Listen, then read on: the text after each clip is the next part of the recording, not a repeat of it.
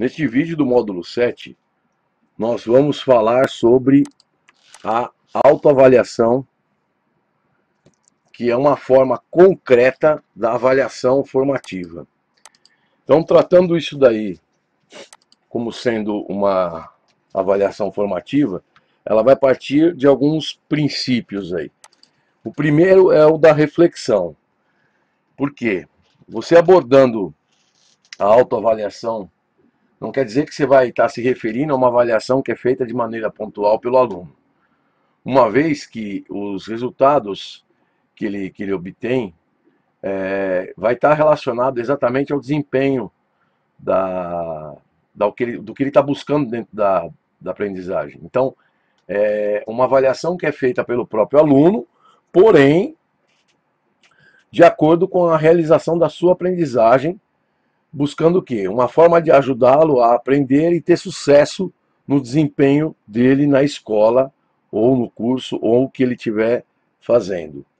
Depois vem aí uma ideia da verificação. Então, a autoavaliação cria no aluno um olhar crítico sobre o que ele faz, quando faz e até depois de ter feito. Então a ideia de fazer essa verificação é exatamente ele poder criar essa responsabilidade e mudar até aquela cultura de sempre estar pensando na nota que ele vai tirar ou se aquele trabalho, aquela prova, o que seja, né, vale alguma nota. Então é mudar a cultura fazendo com que ele tenha um olhar diferente com relação a isso. O outro item seria a orientação. Então, a orientação está relacionada ao quê? O esforço para ele poder modificar nunca vai ser conquistado a curto prazo.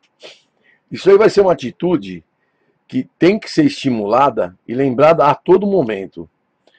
No caso da autoavaliação, ela pode ajudar com relação a essa, essa orientação, desde que ela seja feita com uma certa regularidade e não apenas no final do período, no final do semestre, no final do ano. Então essa reflexão voltada à orientação que ele vai ter com relação à aprendizagem, ela tem que ser feita de forma constante. O, a outra ideia aí é a ideia de autonomia, né? Então, a autoavaliação como sendo um processo pelo qual é, o indivíduo avalia por si mesmo e geralmente para si mesmo, onde ele vai observar o que ele produz, quais são as suas ações, quais são suas condutas, do que ele está produzindo, ou as suas capacidades com relação à sua performance e suas competências, ou no contexto geral. Dessa forma, o processo com, com relação ao que ele realiza nas tarefas de aprendizagem ele começa a ter ali uma, uma certa consciência com relação a essas, essas representações, de forma com que ele consegue saber o porquê aquilo está sendo feito, qual o sentido daquilo é, em termos de, de, de, aprendizagem, e também ele fazer o quê? Uma, uma crítica com relação às estratégias de aprendizagem que ele está utilizando para poder saber exatamente qual delas seria melhor para ele poder é, chegar no resultado final, num bom resultado final. Então, no, no, em termos do, do, do processo como um todo, ele é fundamental que ele comece a, a entender e esses critérios com relação às tarefas que vão permitir a autonomia dele sejam bem definidos. Uma outra condição aí seria o que? A condição de criar no aluno a responsabilidade. Então, nesse sentido de responsabilidade, ele, ele vai poder buscar, dentro do processo de avaliação, a sua própria aprendizagem, numa perspectiva onde ele vai poder construir o que é relevante e significativo para ele. Então, passa a abordar de uma forma diferente, não pensando apenas na nota final, e sim no desenvolvimento que ele vai ter.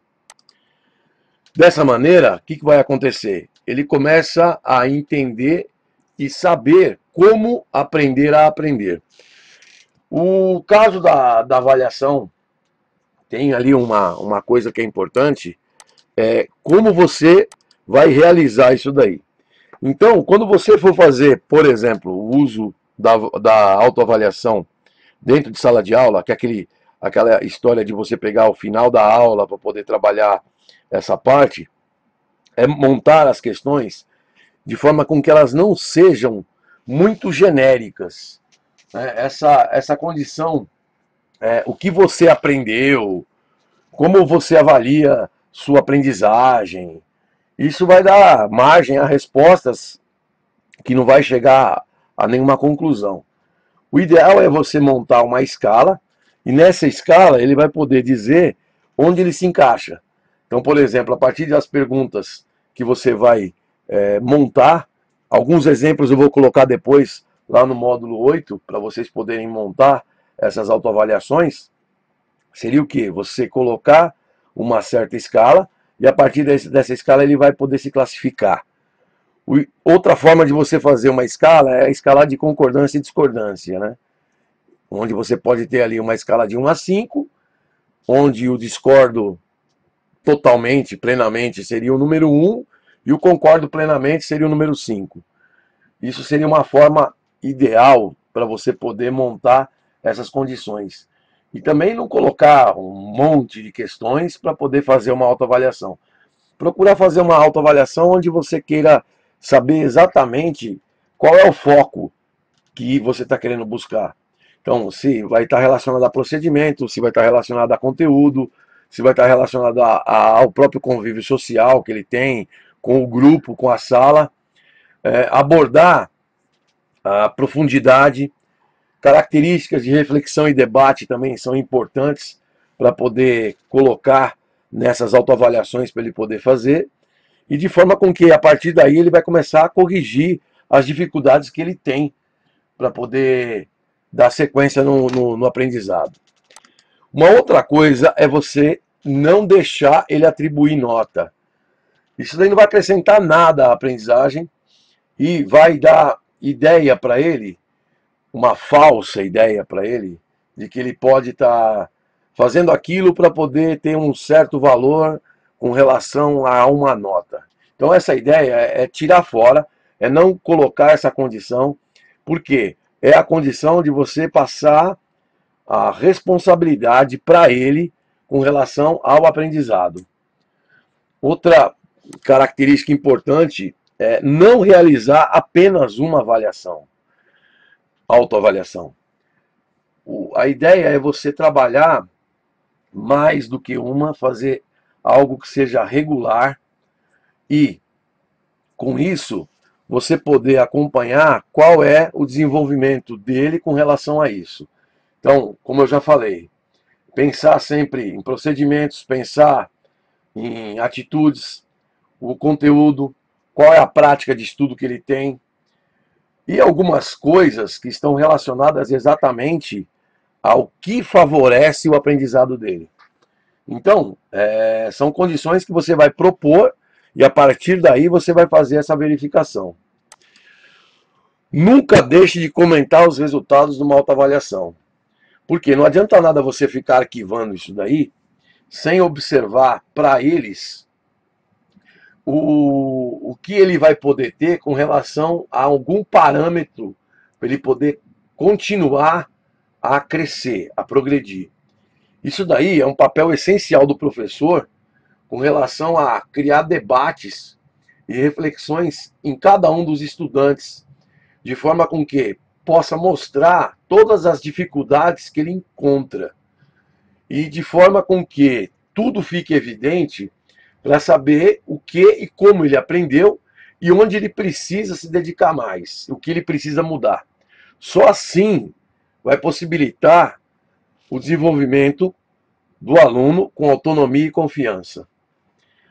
O último caso aí é não deixar nada para o final do período, final do semestre, final do ano. Sempre você procurar fazer algo com que ele possa acompanhar a caminhada dele. Porque no pensamento dele, isso daí pode ser até desanimador se for feito apenas uma vez e lá no final. Uma vez que ele mesmo vai pensar que, bom, não vai dar mais tempo mesmo, para que, que eu vou mudar? Então tem que mudar esse contexto e a partir daí identificar esses pontos que precisam ser melhorados ao longo do período letivo, não só apenas no final. Uma ideia para autoavaliação que eu utilizo bastante em sala de aula é o uso do WhatsApp. No final da aula, eu sempre proponho ali, dependendo da condição que eu estou querendo avaliar, se é procedimento, se é alguma habilidade, se é competência, é, eu faço geralmente duas questões e nessas duas questões eu enfatizo exatamente as condições rela relacionadas ao que foi discutido, o que foi trabalhado em sala de aula, de forma com que eu possa depois passar um feedback para eles com relação ao desempenho. Isso daí eu vou mostrar lá no, no módulo de ferramentas tecnológicas, para vocês poderem ver como utilizar o WhatsApp para poder fazer isso daí.